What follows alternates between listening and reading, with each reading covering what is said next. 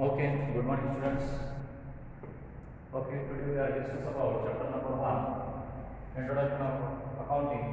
That included, okay. So the remaining points are there, basic terms in accounting. So next point is stock or inventory. Stock is also called inventory. Okay. What is by stock? So stock means it means the value of unsold goods or unused materials in the concerned at any particular point of time. That is particular point of time. That is so accounting. Okay. So accounting periods when can start it. So first April to thirty first March. So, first April to 31st March is the point of the particular time or period. Okay. It included unsold or unused materials. ನೋಡ್ರಿ stock ಅಂದ್ರೆ ವಿಶೇಷವಾಗಿ ದಾಸ್ತಾನು ಅಂತ ಕರಿತೀವಿ ನಾವು ದಾಸ್ತಾನು ಅಂದ್ರೆ ಏನಪ್ಪ ಅಂತಂದ್ರೆ ಕೊನೆ ಹಂತದಲ್ಲಿ ಫಸ್ಟ್ ಏಪ್ರಿಲ್ ಇಂದ ಮೂವತ್ತು ಓಕೆ ಮೂವತ್ತು ಥರ್ಟಿ ಫಸ್ಟ್ ಮಾರ್ಚ್ವರೆಗೆ ಈ ಕಾಲಾವಧಿ, ಹನ್ನೆರಡು ತಿಂಗಳ ಕಾಲಾವಧಿಯಲ್ಲಿ ಅನ್ಸೋಲ್ಡ್ ಓಕೆ ಮಾರಾಟ ಆಗಿಲ್ಲ ಅಥವಾ ನಾವು ಉಪಯೋಗ ಮಾಡ್ಕೊಂಡಿಲ್ಲ ಅಂಥ ವಸ್ತುಗಳು ಅವು ಏನು ಉಳಿದಿರ್ತಾವಲ್ಲ ಅದನ್ನು ನಾವು ಏನಂತೀವಪ್ಪ ಅಥವಾ ದಾಸ್ತಾನು ಅಥವಾ ಸ್ಟಾಕ್ ಆಫ್ ಇನ್ವೆಂಟರಿ ಅಂತ ಹೇಳ್ಬೋದು ಸೊ ಈ ಇನ್ವೆಂಟರಿದಲ್ಲಿ ಅಥವಾ ದಾಸ್ತಾನದಲ್ಲಿ ಎರಡು ಭಾಗ ಕೊಡ್ತಾವ ಪ್ರಕಾರದಲ್ಲಿ ದಾಸ್ತಾನ ಪ್ರಕಾರ ನೋಡಿದಾಗ ಒಂದೇದ ಓಕೆ ಓಪನಿಂಗ್ ಸ್ಟಾಕ್ ಎರಡನೇದ ಕ್ಲೋಸಿಂಗ್ ಸ್ಟಾಕ್ ಪ್ರಾರಂಭಿಕ ದಾಸ್ತಾನ. ಓಕೆ ವಾರ್ಷಿಕ ಕೊನೆಯ ದಾಸ್ತಾನು ಅಂತ ಅನ್ಬೋದು ನಾವು ಸೊ ಓಪನಿಂಗ್ ಸ್ಟಾಕ್ ಬಗ್ಗೆ ನಾವು ನೋಡಿದಾಗ ಓಪನಿಂಗ್ ಸ್ಟಾಕ್ ಬಗ್ಗೆ ನೋಡಿದಾಗ the value of the value of stock in the beginning of the year is called opening stock opening stock ಅಂತ ನೋಡ್ರಿ ವಿಶೇಷವಾಗಿ unsold or unused materials when they can started the beginning of the year ವರ್ಷ ಪ್ರಾರಂಭಕ್ಕೆ ಏನು ಪ್ರಾರಂಭ ವರ್ಷ ಪ್ರಾರಂಭಕ್ಕೆ ಏನು ಬರ್ತೈತಿ ಮಟೀರಿಯಲ್ಸ್ ಓಕೆ ಸೊ ಕೊನೆದ ಅನ್ಸೋಲ್ಡ್ ಮತ್ತು ಅನ್ಯೂಸ್ಡ್ ಮಟೀರಿಯಲ್ಸ್ ಅಂತ ಇರ್ತೈತಿ ಅದಕ್ಕೆ ನಾವು ಏನಂತೀವ ಓಪನಿಂಗ್ ಸ್ಟಾಕ್ ಅಂತೀವ ಹಾಗಾದ್ರೆ ನೆಕ್ಸ್ಟ್ ಕ್ಲೋಸಿಂಗ್ ಸ್ಟಾಕ್ ಬಗ್ಗೆ ನೋಡೋಣ the value of stock at the end of the year is called the closing stock.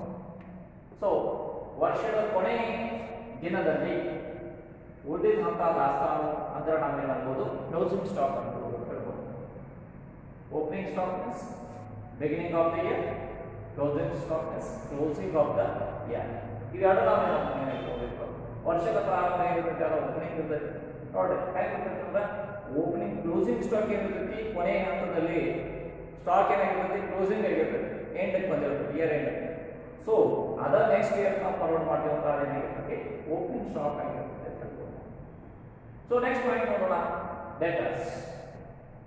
Debtors debtors ಅಂದ್ರೆ ನೋಡಿ debtors are the persons or other entities who owes or due money to the business business ಹಣ ಕೊಡುವಂತ ವ್ಯಕ್ತಿ okay ನಾವು ವಸ್ತುಗಳನ್ನ ಮಾರಾಟವನ್ನು ಏನು ಮಾಡಿರ್ತೀವ ಉದ್ರಿ ಮೇಲೆ ಆನ್ ಕ್ರೆಡಿಟ್ ಅನ್ನು ಮಾಡಿರ್ತೀವ business for buying goods and services on credit ವಸ್ತುಗಳನ್ನ ಏನು ಮಾಡಿರ್ತೀವ buying goods and services on credit on credit ವಸ್ತುಗಳು. ಓಕೆ ಆನ್ ಕ್ರೆಡಿಟ್ ಮೇಲೆ ನಾವು ಮಾರಾಟ ಮಾಡ್ತೀವ ಕೊಂಡ್ಕೊಂಡಿರ್ತೀವ? ಸೊ ಆ ಟೈಮಲ್ಲಿ ನಮಗ ಬಿಸ್ನೆಸ್ ವ್ಯಕ್ತಿ ಏನು ಮಾಡ್ತಿರ್ತಾರ? ಹಣವನ್ನು ಕೊಡ್ತಿರ್ತಾರ. ಸೊ ಅದೇ ನಮ್ಮ ಡೇಟರ್ಸ್ ಅಂತ ಅನ್ಬೋದು debtors ಗೊತ್ತಂದ್ರೆ debtors are the of the business ಯಾಕಂದ್ರೆ ಜನರ ಕಡೆ ಹಣ ಬರ್ತೈತಿ ಅಂದ್ರೆ ಏನೈತಿ ಅನ್ನೋ ಏನೇನು ನಾವು ಡೇಟಾಸ್ ಅಂತ ಅನ್ಬೋದು ಉದ್ಯಮ ದೃಷ್ಟಿಯಲ್ಲಿ ಹಣ ಇದೆ ಅಂತ ಹೇಳ್ಬೋದು. ಓಕೆ ಸಂಪತ್ತು ಐತೆ ಅಂತ ಹೇಳ್ಬೋದು. ಅದರ ಜೊತೆಗೆ ಕ್ರೆಡಿಟರ್ಸ್ ಅನ್ನು ನೋಡ್ರಿ. Creditors are persons or other entities who whom the person, whom the business owes dues money for providing the goods and services credit. ಉದ್ರಿ ಮೇಲ ಸೇವೆಗಳನ್ನು ನಾವು ಸಲ್ಲಿಸ್ತೀವ? ಜನರ ಸೇವೆಯನ್ನು ಸಲ್ಲಿಸ್ತಾರ. ಆ ಸೇವೆಗಳನ್ನ ಸಲ್ಲಿಸಿದ್ದಕ್ಕಾಗಿ ನಾವು ಬಿಸ್ನೆಸ್ ಏನ್ ಮಾಡಬೇಕಾಗತಿ ಕ್ರಯಸ್ಥ ಅಥವಾ ಹೊರಗಿನ ವ್ಯಕ್ತಿಗೆ ಏನ್ ಮಾಡಬೇಕಾಗತಿ ಹಣವನ್ನು ಕೊಡಬೇಕಾಗತಿ ಸೊ ಅದಕ್ಕೆ ನಾವು ಕ್ರೆಡಿಟರ್ಸ್ ಅಂತ creditors so creditors are the liabilities to the business ಇದು ಕ್ರೆಡಿಟರ್ಸ್ ಏನಿರ್ತೈತಿ ಒಂಥರ ಬಿಸ್ನೆಸ್ ತರ ಓಕೆ ದೇನೆ ಅಥವಾ ದೇಯತೆ ಆಗಿರುತ್ತೆ ಹೇಳ್ಬೋದು ನಾವು debtors are the assets of the business debtors ಏನಾಗೈತಿ ಸಂಪತ್ತಾಗಿರ್ತೈತಿ ಅದ್ರ ಜೊತೆಗೆ ಕ್ರೆಡಿಟರ್ಸ್ ಏನಾಗಿರ್ತೈತಿ ಲಯಬಿಲಿಟಿ ಅಥವಾ ದೇಯತ ಅಥವಾ ದೇನೆ ಏನಾಗಿರ್ತೈತಿ ಸೊ ಈ ಕಾನ್ಸೆಪ್ಟ್ ಅನ್ನು ನಾವು ಇಲ್ಲಿವರೆಗೆ ನಾವು ಓಕೆ ಬೇಸಿಕ್ ಕಾನ್ಸೆಪ್ಟ್ಸ್ ಅನ್ನು ಬೇಸಿಕ್ ಟರ್ಮ್ಸ್ ಇನ್ ಅಕೌಂಟಿಂಗ್ ಅನ್ನು ಕಲ್ತೀವ ಓಕೆ ಇಲ್ಲಿವರೆಗೆ ನಿಮಗೆ ಆಲ್ಮೋಸ್ಟ್ ನಾನು ಯಾವ ವಿದ್ಯಾರ್ಥಿಗಳು ನನಗೆ ಅದ್ರ ಬಗ್ಗೆ ಕಮೆಂಟ್ಸ್ ಮಾಡಿಲ್ಲ ಮತ್ತು ಅದ್ರ ಬಗ್ಗೆ ಕ್ವೆಶನ್ ಮಾಡಿಲ್ಲ. ಸೊ ಏನೋ ಸಮಸ್ಯೆ ಇದ್ರೆ ನೀವು ಫೋನ್ ಮುಖಾಂತರ ಕೇಳ್ಬೋದು ಅಂತ ಹೇಳಿದ್ನೆ. ಅದನ್ನು ವಿದ್ಯಾರ್ಥಿ ಈಗಿನವರೆಗೆ ನನಗೆ ಯಾವ ರೀತಿ ಕಾಂಟ್ಯಾಕ್ಟ್ ಅನ್ನು ಮಾಡಿಲ್ಲ ಅಂತ ನೀವೇನು ಮಾಡಬೇಕು ಅಂತಂದ್ರೆ ಯೂಟ್ಯೂಬ್ನಲ್ಲಿ ನೀವು ನೋಡೋದಿತ್ತಂದ್ರೆ ಓಕೆ ರಮೇಶ್ ಮಾಡಿ ಜೆ ಕಾಲೇಜ್ ಆಫ್ ನಿಯರ್ ಅಂತ ಹಾಕಿದ್ರೆ ಅಂದ್ರೆ ನಿಮಗೆಲ್ಲ ಇದು ನಾನು ಏನು ಅಕೌಂಟ್ಸ್ಗಳದ ಎಷ್ಟು ಪ್ರಮಾಣದಲ್ಲಿ ನನ್ನ ಕ್ಲಾಸಸ್ ತೊಗೊಂಡು ಅದ್ರ ಬಗ್ಗೆ ಎಲ್ಲ ಮಾಹಿತಿ ಸಿಗ್ತದೆ. ಸೊ ಫಸ್ಟ್ ಅದು ಸಬ್ಸ್ಕ್ರೈಬ್ ಮಾಡಿ. ಆ ನಂತರ ಮಾಡಿ ಅದರ ಬಗ್ಗೆ ಡೀಟೇಲ್ಸ್ ನೋಡ್ತಾ ಹೋಗಿ ಓಕೆ ಸೊ ಇಲ್ಲಿ ನಿಮಗೆ ಏನಾಗ್ತೈತಿ? ಈ ಥರ ನಮ್ಗೆ ಇಲ್ಲ ನೋಡ್ಬೋದು. ಈ ಥರ ನಾವು ಆ ಟೆಕ್ನಿಕ್ಸ್ ಅನ್ನು ಯೂಸ್ ಮಾಡಿ.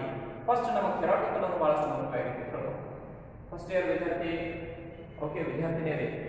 ನಿಮಗೆ ಏನು ಹೇಳಬೇಕು ಅಂತಂದ್ರೆ ಫಸ್ಟ್ ಇಯರ್ ನೀವು ಬೇಸಿಕ್ ಎಷ್ಟು ಚೆನ್ನಾಗಿ ಮಾಡ್ಕೊಂಡಿದ್ದೀವಿ ಥೆರಾಟಿಕಲ್ ಯಾಕಂದ್ರೆ accountancy is theory and practice of accounting ಅಂತೈತಿ ಸೊ ಆ ಕಾರಣದಿಂದ ನಾವೇನು ಮಾಡಬೇಕು ಥಿಯರಿ ಮತ್ತು ಪ್ರಾಕ್ಟೀಸ್ ಓಕೆ ಥೆರಾಟಿಕಲ್ ಚೆನ್ನಾಗಿರಬೇಕು ಪ್ರಾಕ್ಟಿಕಲ್ ಎಕ್ಸಾಂಪಲ್ ಚೆನ್ನಾಗಿರಬೇಕು ಸೊ ಥೆರಾಟಿಕಲ್ ಚೆನ್ನಾಗಿತ್ತು ಅಂದ್ರೆ ಆಟೋಮ್ಯಾಟಿಕ್ ಪ್ರಾಕ್ಟಿಕಲ್ ಎಕ್ಸಾಂಪಲ್ ಏನಿರುತ್ತೆ ಸಾಲ್ವ್ ಮಾಡಕ್ಕ ಈಸಿ ಆಗ್ತೈತಿ ಅದ್ರ ಜೊತೆಗೆ ಬರ್ತೈತಿ ಅಂತ ಹೇಳ್ಬೋದು ನಾವು ಸೊ ಇಲ್ಲಿವರೆಗೆ ನಾವು basic terms in accounting chapter number one introduction of accounting ಬಗ್ಗೆ ನಾವು ಕಲ್ತೀವ.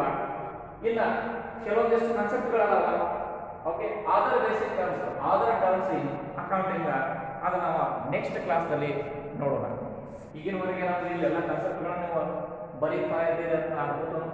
ಓಕೆ ಸೊ ಬರೋದ್ ನೀವು ಮಾಡ್ಕೊಬೇಕು, ಇದು ಪ್ರಾಕ್ಟೀಸ್ ಅನ್ನು ಮಾಡಿರಬೇಕು, ಸ್ವಲ್ಪ ಮಟ್ಟಿಗೆ ಅಂಡರ್ಸ್ಟ್ಯಾಂಡಿಂಗ್ ಮಾಡ್ಕೊಂಡು ಇದನ್ನು ಮಾಡಿರಬೇಕು ಅಂತ ಹೇಳ್ತಾ, ಇಲ್ಲಿ ಇವತ್ತಿನ ಕ್ಲಾಸ್ ನಾನು ಮುಕ್ತಾಯ ಮಾಡ್ಕೊಂಡು 那你玩？